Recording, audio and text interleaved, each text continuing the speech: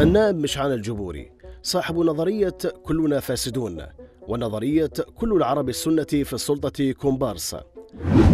كل واحد بينا عنده دور بالفساد. كلكم؟ شو يعني شلون؟ كنا هسه إحنا بلجنه النزاهة نفتح ملفات يجون ينطونا رشوة نسكرها مثلا. حد ما حد أنت أخذت رشوة؟ أي والله. شرفي اخذت انطوني رشوة حتى اسكر ملف.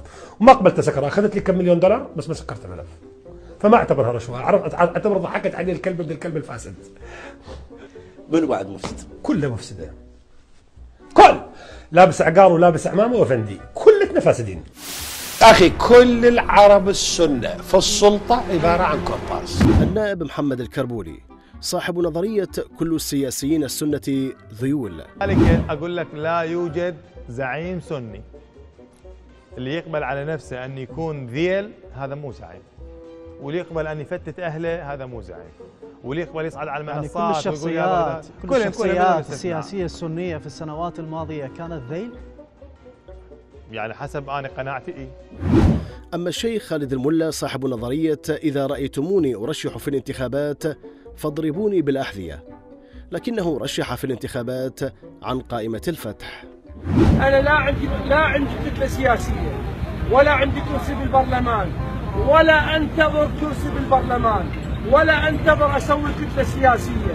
وإذا رأيتم صورتي يوما مرشح بالبرلمان اضربوها بالاحذيه قال إذا تشوفوني مرشح للانتخابات تضربون الصور بالقندرة فهاي إحنا جاي نضربك بالقندرة. على مود لا تقول ما ضربوني بالقندرة. حاجب الحسني عضو البرلمان السابق والقيادي في الحزب الإسلامي قبل انسحابه منه والمتحدث السابق باسم قائمة نور المالكي. يعلن ائتلاف دولة القانون تمسكه بالتحالف الوطني باعتباره الكتلة البرلمانية الأكثر عددا والتي يحق لها وفق نص الدستور تشكيل الحكومة الجديدة.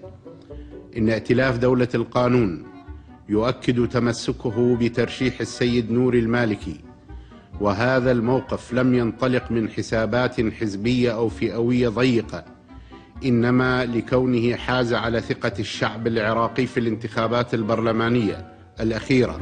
إياد علاوي رئيس الحكومة المؤقتة في عام 2004 ونائب رئيس الجمهورية. صاحب نظرية لا أدري ونظرية أنتم الشعب اللي دمرتونا ادري اسمعني اسمعني خلياني خلياني مصر يا دمرت أنتم دمرتونا إحنا شلون دمرنا أنتم دمرتونا شلون دمرنا شوف تسامح مصر ليش ما سامع بس انت لا تسلب الشعب المصري الشعب المصري عنده حريه اراء إحنا طوائف وين حريه إحنا طوائف عمي إحنا طوائف لك 30 40 مليون طلع مرتين إحنا طوائف مرتين إحنا طوائف عمي فرقونا فرقونا عمي والله لا دمرتوا همام حمودي زعيم المجلس الأعلى ونائب رئيس البرلمان وصاحب نظرية لا دولة مثلكم في المنطقة.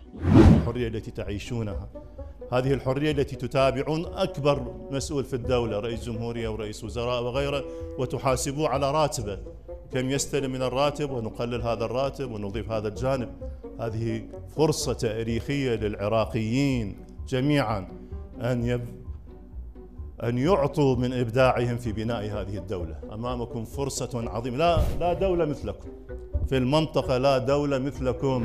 حنان الفتلاوي الطبيبة والنائبة في البرلمان وصاحبة نظريات عدة.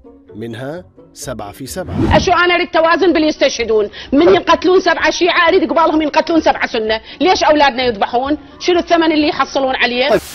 لعد هي إذا حكومة على 15 محافظة ليش ما تصير حكومة كلها شيعية؟ حكومة تحكمنا. تمويلها من عندنا طيب. جيشها من عندنا. على شنو صايرة حكومة لكل العراق؟ خلي يروحون كل من يقعد بمحافظته. خيراتكم خويا إلكم وخلونا كافين خيرنا بشرنا راضين بروحنا. عباس البياتي النائب عن دولة القانون ولديه نظريتان وهما.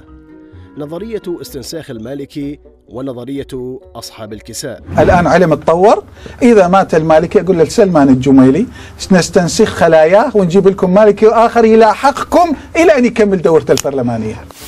إحنا خمسة أصحاب الكساء. أولنا النصر وبعده القانون ثم الفتح والحكمة والسائرون. النائب السابق حيدر الملا صاحب نظرية كل الطبقة السياسية وأنا في مقدمتهم.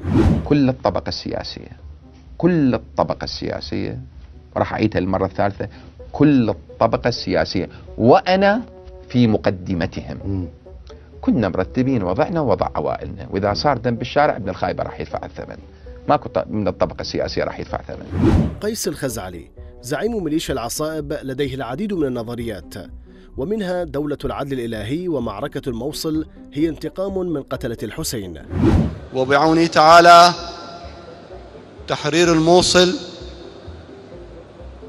هو تمهيد لدولة العدل الإلهي. وإن شاء الله تحرير الموصل هو انتقام وثأر من قتلة الحسين لأن هؤلاء الأحفاد من أولئك الأجداد. القاضي محمود الحسن النائب في البرلمان وعضو ائتلاف دولة القانون سابقا ومرشح قائمة النصر حاليا. صاحب نظرية العدل أساس الملك. بسم الله الرحمن الرحيم. العدل أساس الملك. صدق الله العلي العظيم. على المرشحين الذين ذكرت أسماؤهم في هذه الحلقة تسجيل 999 ألف دولار لإدارة قناة الرافدين مقابل هذه الدعاية الانتخابية.